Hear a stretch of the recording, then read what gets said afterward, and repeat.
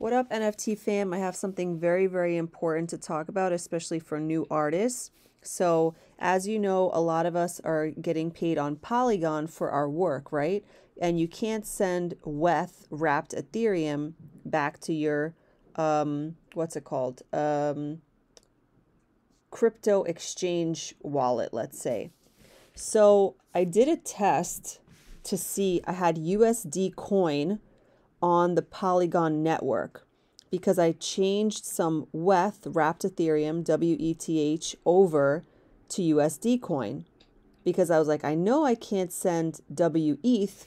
Maybe I could send USD coin, but I made a test, right? Always make a test is my thing for myself. So I sent $2, but I didn't see that it ever showed up, right? I'm trying to send this back to my Coinbase so I could take it out. And lo and behold, nothing showed up. And I called my friend and I said, Hey, you know, I tried to take $2 out and it was from the Polygon network. Do you know what happened?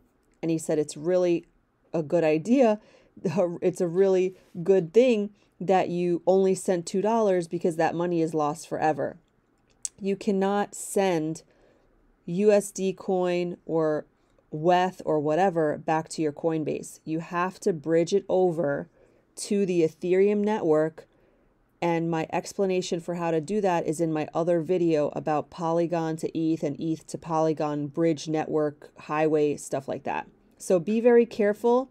You know, this is a very confusing thing. So luckily, I only lost $2.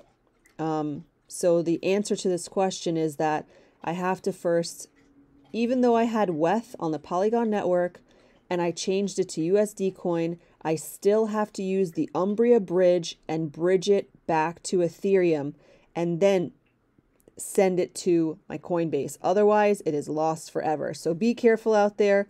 You know, it's better to know than to not know. This is important stuff.